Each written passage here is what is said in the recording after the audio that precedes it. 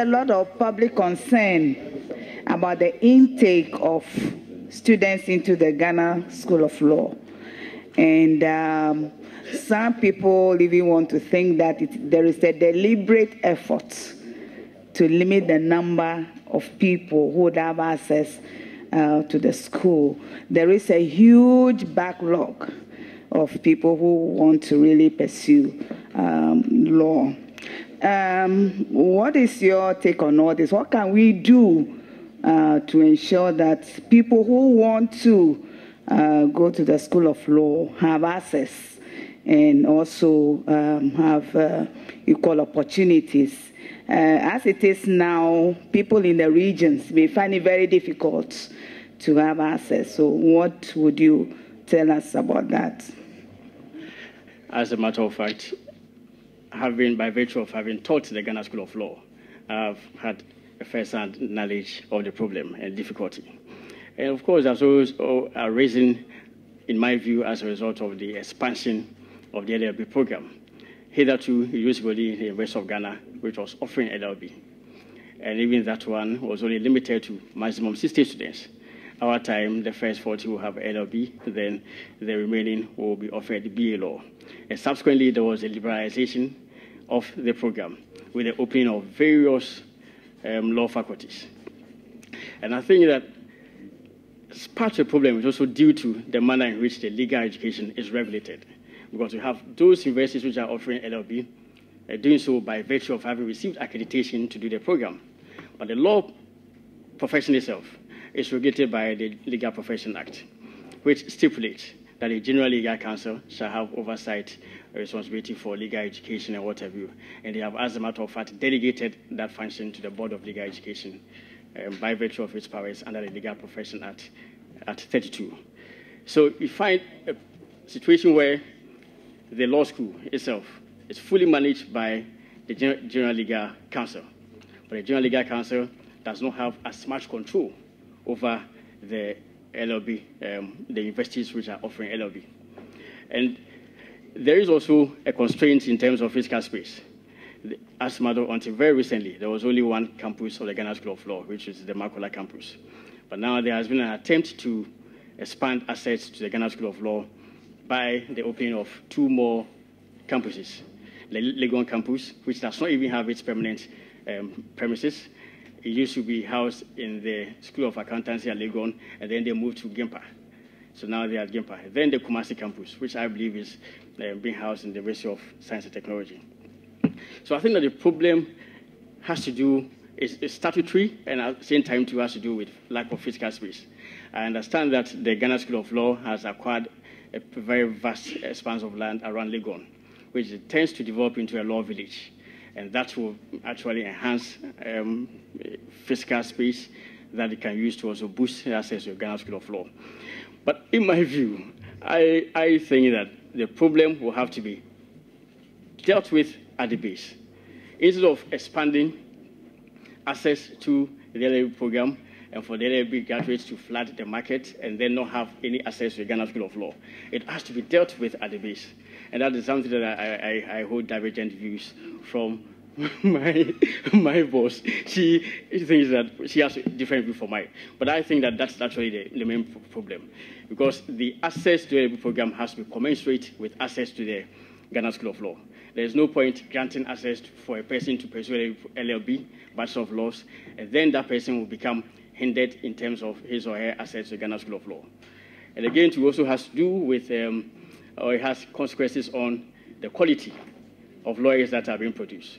Because we find, with all respect, all manner of persons having the opportunity of studying for LLB, and then and later on also having the opportunity of becoming lawyers, thereby diminishing the quality of law practice in Ghana.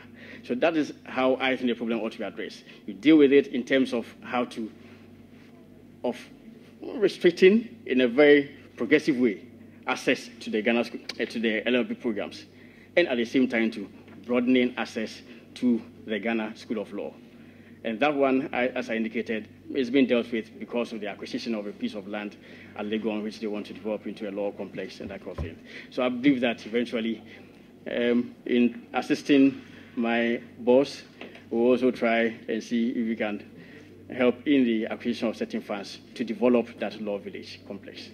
So I would come and you are saying that the solution should be restricting the base, those who qualify to apply to the law school. What about expanding the top? For example, why should I live, grew up at Sunyani, obtain a degree from KNUST, and have to come to Accra for the law school? Legal education that is in control, just being in charge of standards. It doesn't matter where you school, this is my standards. If you, I don't care where you go to school, if you meet my standard, you qualify. If you don't meet my standard, sorry, you have to deal with your school. What do you think about that? Mr. Chairman, I, in fact, I have known your views since last year when we were putting together the report to the Committee of, on Governance. Mr. Chairman, I actually offered a double-pronged solution. I hold the view that it is totally futile liberalizing access to the LLB program and empowering all kinds of, with all respect, universities to offer LLB programs. Because indeed it has to do, it has a lot to do with even the quality of personnel in those faculties.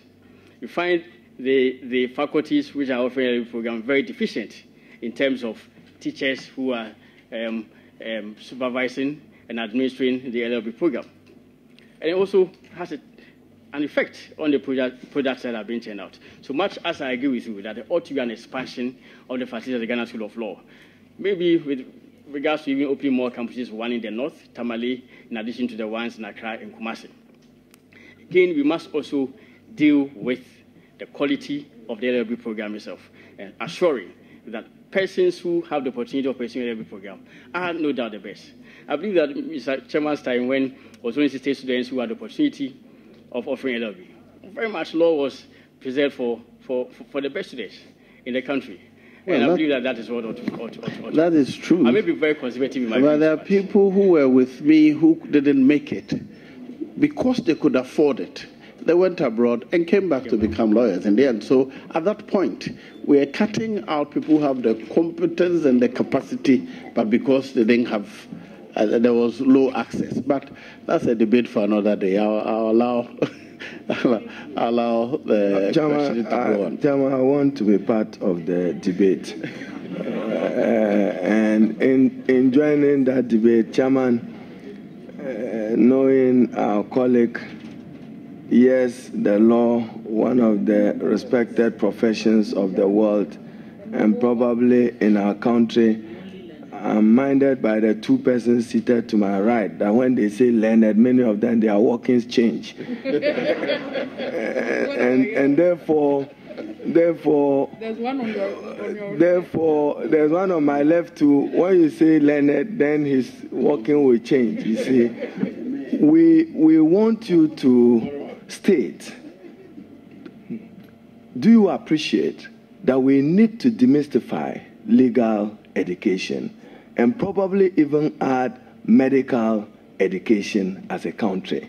That in a country where you are talking of how many persons have access to a lawyer, how many persons have access to the judicial system, and appreciating uh, having worked with the Honorable Akoto Ampaw, I would appreciate your knack for respect of fundamental human rights. Now, don't we want to demystify legal education. And don't you think that is about appropriate that probably into the future, like Chairman have said, Upper East region should have a dedicated school or any of the investors or every other region, or at least in Ghana, you should have a minimum five clusters of law school. We need to produce more quality lawyers. There will still be restrictions. The restrictions in those who are able to pass and those who are not able to pass. But don't you share the view? I know you are conservative in your thinking, conservative with issues that you have convictions on. Shouldn't we demystify legal education? Mr. Chairman, I totally agree with you. Legal education ought to be demystified. Indeed, I was one who made a point that a law school ought to be opened in the North. And with all respect, not Mr. Chairman. I, again, I'm just concerned about the preservation of standards. That is why I made a point about assuring that the products from the LLB program are those that reasonably would want to um, accept or admit to the pursuit of the law profession. But I agree with you that really there has to be.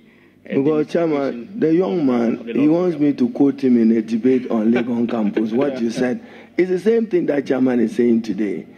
When you were then a strong advocate at the law school, you said that we should open up the opportunities. Or are you intimidated by Minister Gloria Akuffo there in wanting? Minister Gloria actually actually shares your view. Yeah. Minister Gloria actually shares your view. Happily, happily, you'll be assisting her, so our thinking will prevail. Thank you. With humility, I know you of, and with that courage. My questions are two. You are currently one of the lawyers of the New Patriotic Party, and you're going to serve as a Deputy Attorney General, where you need to take away your political lenses. Can you share with us how fair you're going to be when it comes to the discharge of your duties as a Deputy Attorney General? That's my first question. Mr. Chairman, there's really no doubt that I've been counsel for the New Patriotic Party over the past five or so years. There's also no doubt that I've acted as counsel for various leading figures in the New Patriotic Party, the chairman inclusive, even the president himself inclusive, his essence the president um, being one of them. Um, but Mr. Chairman, it is also relevant to note that any mention of me, with all respect, in terms of politics, has always been in, in, in respect of my law practice. So indeed, in by virtue, I mean, in matters that I've been associated with as regards um, insofar as the Patriotic Party is concerned, it is mostly in relation to law practice. So it is correct to say that I've, at all material times, tried to cut um, a professional impression of myself and I'm also mindful of the obligation of the Attorney under the 1992 Constitution.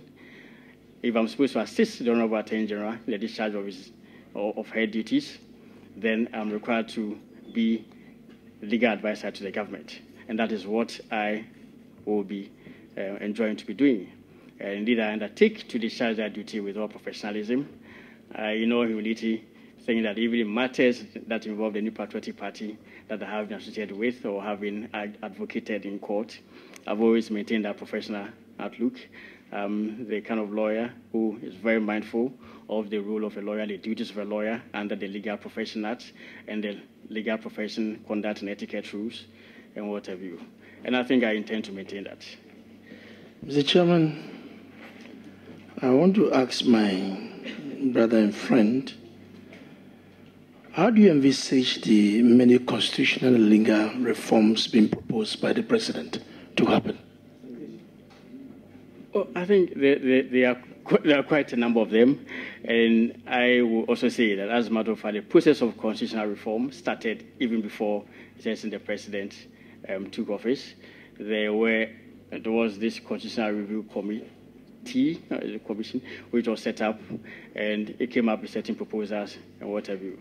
And I believe that there was also a review committee, and that review committee actually drew up a number of proposals that had to be urgently um, effected. And but sad to say, it was more or less lumped together. It was a number of proposals lumped together.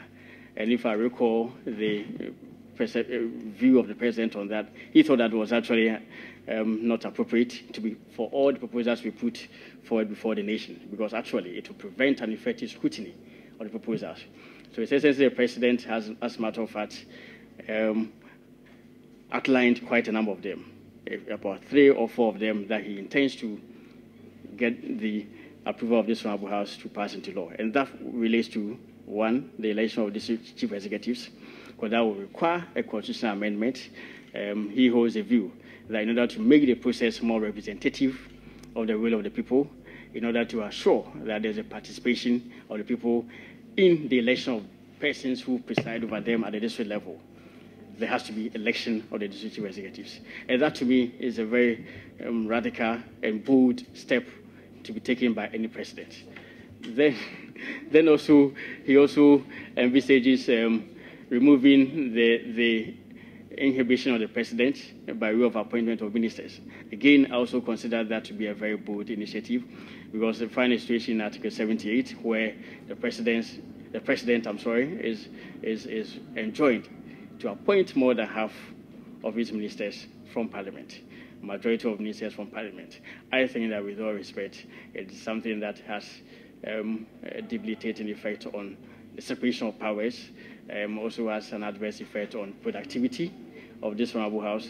The president indeed intends to strengthen the hands of this honorable court in the pursuit of its obligations under the 1992 Constitution and intends to move for an amendment of that pro- pro- provision. So Mr. Chairman, I'm grateful. I, am Thank you. Totally supportive of that. Thank you. Uh, the, the, the questioner thinks that you are overblowing the, the question, so he says he's grateful. Let me let me advise that here, uh, the longer your answers, the longer you stay here. So try and make yourself as precise as possible. Your your knowledge of the law is not in doubt. This is a public hearing. If there's nothing really untoward about your character, I don't think there's anybody who has doubt about your your knowledge base. So just make it as precise as possible so we save ourselves time. Yes, uh, Nilan van der Poel. Mr. Chairman, thank you very much. Uh, congratulations, Godfred. Uh, you and I laugh most, and you know. Not too sure about that. Okay, football. oh, very well. That's fine.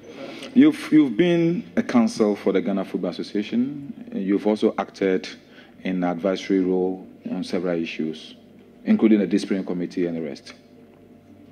There is a pending issue which has become almost like a problem for almost everybody in this country. That uh, there is a white paper after the Dzamefe Commission, but its implementation has become a problem. You, with your closeness and association with the Ghana Football Association, and today coming in as Deputy Attorney General, what assurances are you going to give this country and sports lovers that the Dzamefe Commission white paper will be implemented? Well, first of all, Mr. Chairman, I think it is true that as per to the Dzamefe Commission, I decided matter of a court action. I know that Mr. Kwesi Nyantakyi filed a court suit um, challenging the enforcement of the Dzamefe Commission report. So I believe that that will have to be disposed of before we can actually implement or not. Because indeed, if the court decides, it, it definitely will, will, be imperative and has to be respected by the Ghana Football Association. So if I may be respectfully permitted not to answer questions, since the Dzamefe Commission report itself is the subject matter of a court action, I will be happy. Chairman, I, I think this uh, we should be able to accommodate, and therefore you may not proceed further on this particular uh, matter. Uh, but uh, since my colleague still has the floor, I intend to yield it back to you. But you walk the world of constitutional reforms. Uh, contempt, contempt both in criminal jurisprudence relative to contempt of court, contempt even in parliament, and appointment of special prosecutors, the president have hinted. What views do you have on those aspects of reforms of the law Hello. and for that matter an extension to the constitution? Start with the um, latter part of your question, the appointment of the special prosecutor. Now, that appointment, with all respect, as has been envisaged by the Honorable Attorney General and His Excellency the President, does not involve any kind of constitutional reform. Of course, we agree that under the 1992 Constitution, the Attorney General is responsible for criminal prosecution, and as Article 88, 3 makes it so clear that all criminal proceedings shall be conducted at the suit of the General, and that implies that the General initiates criminal proceedings. Again, the same Constitution also makes the General a Minister of State. So the General is very much a part of the executive. And that has been a problem that the nation has had since 1960, the first Republican Constitution. And even in that 1960 Constitution was even so um, adverse in the sense that the General could only, the words were clear, subject to the direction and control of the President. The Attorney General shall be responsible for criminal prosecution and whatever. So even though the 1992 Constitution is an improvement to the 1961, it is still um, laden with the same problem. It still makes the Attorney General very much, very much a part of the executive. And that, to me, seeks to present a constraint. Dame, to make it short, so you share the view that the Attorney General should be subject to the law and the control of the law and not the executive or the president. Is that the view you are espousing? No, what I am saying, I'm actually trying to give a rationale for the setting up of the office of, of the special prosecutor. The special prosecutor is required to undertake special prosecution, especially in matters related to corruption in the public sector, as well as other offenses, abuse of public trust and, and, and public funds. And I'm saying that Does nothing in Ghanaian law prevent the Attorney General from prosecuting on corruption? No, but there's so, with all respect, um, there's so monopoly of the Attorney General with regards to the institution of criminal proceedings and the conduct thereof actually presents a problem. Because if the Attorney General is part of the executive and subject to all the frailties of the human person, clearly there can be a practical problem with regards to prosecution of criminal offences. What is that practical members- problem you envisage? What is that practical problem? Mr. Chairman, the practical difficulty is the ability of the Attorney General. Honorable Odame, Yes. Honorable nominee, Yes. you are reminded of the caution by the chairman before he left. The more you speak, the more you open yourself up. So be brief in your answers. And since you're deputy minister, I believe that most of these decisions will be taken by your minister, and you are in there to support. So you are guided by the, the advice by the chairman, and keep it brief. Thank you. Mr. Chairman, I was actually responding to um, the questions by the honourable member. And my position, with all respect, is that the unique position of the Attorney General as both the principal legal advisor to the government and also a minister of state presents a constraint in his or her ability to effectively prosecute members of her government. That is why the president has conceived a mechanism whereby you have person who is wholly independent or reasonably independent of the executive in charge of prosecution of corruption and other related offenses. And I think that the vehicle that the president intends to um, employ is very much appropriate and it does not involve any constitutional amendment because actually, if you look at the provision, it says this, the Attorney General or any other person authorized by him may undertake prosecution. So inherent in that provision is the opportunity of delegation.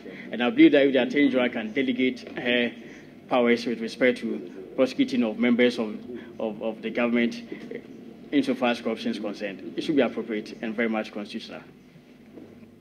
A special prosecutor, will that person be appointed by the same president or as we have in parliament, you can have an arrangement where you have uh, a body like um, uh, subsidiary legislation committee, which is headed by a minority minority member of uh, parliament, or public accounts committee, which is chaired by a minority member of parliament. The reason why I ask this question is the attorney general is being appointed by the president, special prosecutor appointed by the president.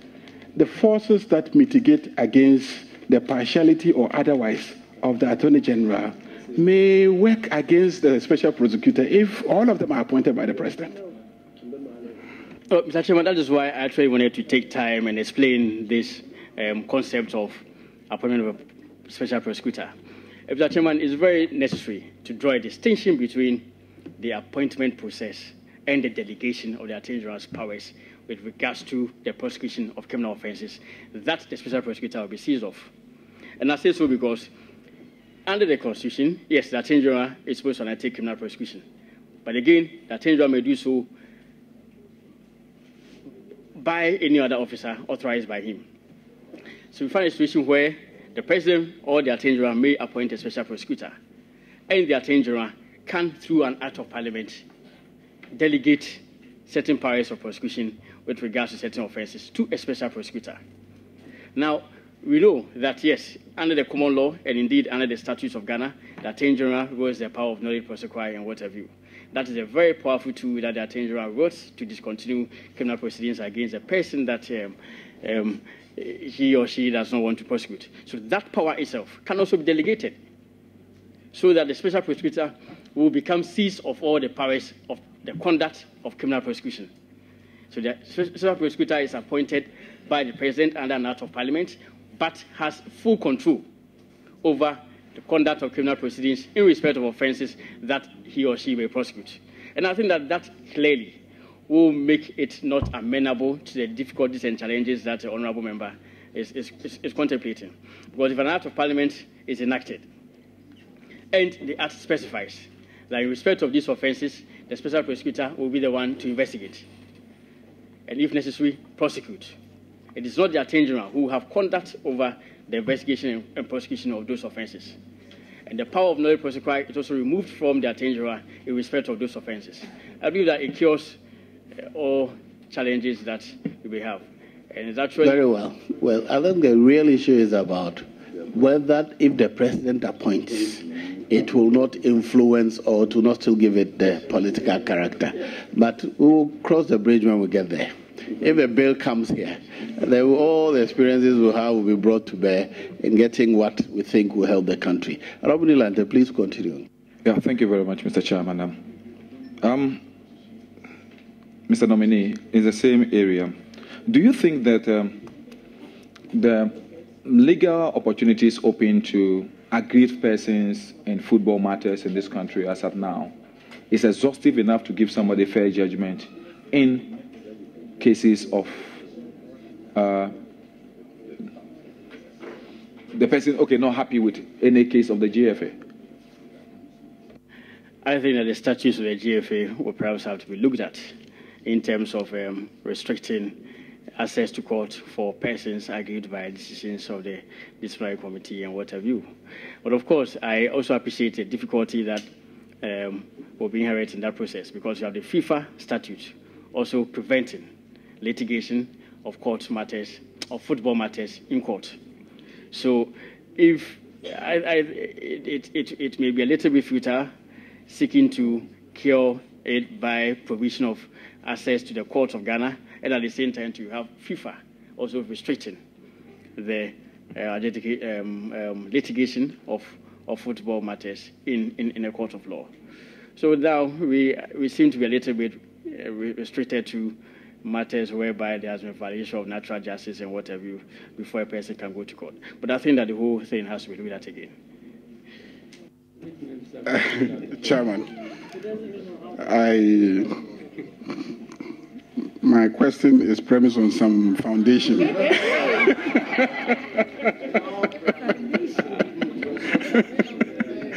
okay, it's a very simple one. Um, let me congratulate you and to say that I'm very impressed by your performance and you've, got, you've come very far. And um, in NIMA, you did a lot of work around social and economic rights advocacy. And there's one serious social economic rights issue coming up. You are implementing, our government will be implementing a senior high school program, free senior high school program. And in this budget, some allocation has been made, but uh, we are told that it is going to be for intake for September 2007. 2017. This is taxpayer money. All of us pay. And in the school, Mr. A, who is paying, has his daughter in SHS2. Mr. B has his daughter in SHS3. And Mr. C's daughter is coming to SHS1. We all pay in tax. And you want to take the money and this year give to only the daughter of Mr. C coming to SHS 1 social and economic rights, equity. Do you think this will pass the constitutionality test? And I am actually not aware of the budgetary allocation to free SHS. I am also not aware of the mechanics or the mechanisms of the allocation and what have you. But of course, I agree with you that education is a matter of human rights. And yes, it's of course in federal of Article 38. And I believe that every part of the Constitution has to be enforced. So even though it's in the directive principles of state policy, it is something that the President 25 and 38 uh, is very grateful. Um, so I share the view that yes, it's a matter of human rights. That is why first it came in Article 25, then was also made part of the educational objectives of the state under Article 38. And so there must be um, as much effort as possible for on the part of the government to to to to enhance access to education. And that is why I think His Excellency Nana Dankwa Akufo-Addo ought to be commended for trying to assure access to SS education.